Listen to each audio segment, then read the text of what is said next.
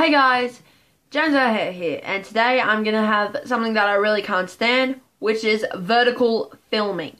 I cannot handle vertical filming on YouTube.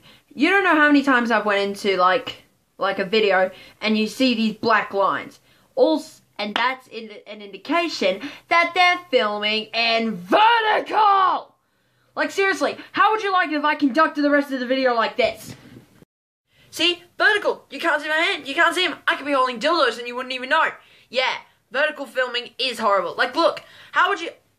Vertical filming, my back crack. I'd rather be full screen.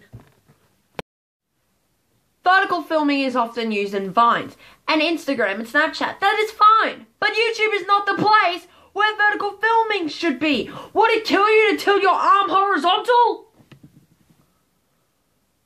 But tell me, what do you guys think about vertical filming? Do you find it, do you think it's acceptable or do you find it a pain in the ass? Or do you, do you like it or maybe you don't like it?